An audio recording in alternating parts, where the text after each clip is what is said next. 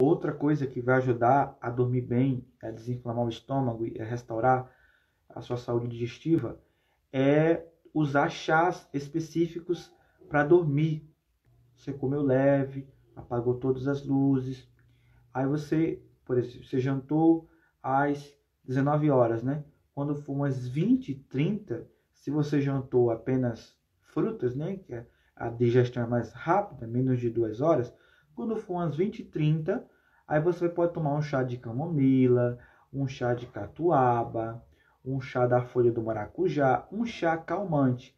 Esses chás, eles são calmantes, eles te ajudam a dormir, porque eles acalmam o sistema nervoso central, mas eles também ajudam a desinflamar o estômago. Então, além de você estar contribuindo para dormir tranquilamente, sem ter efeitos colaterais, porque são chás medicinais, você ainda vai estar contribuindo para desinflamar o seu estômago, porque a camomila, a catuaba e folha do maracujá também tem substâncias que ajudam a desinflamar a mucosa do estômago.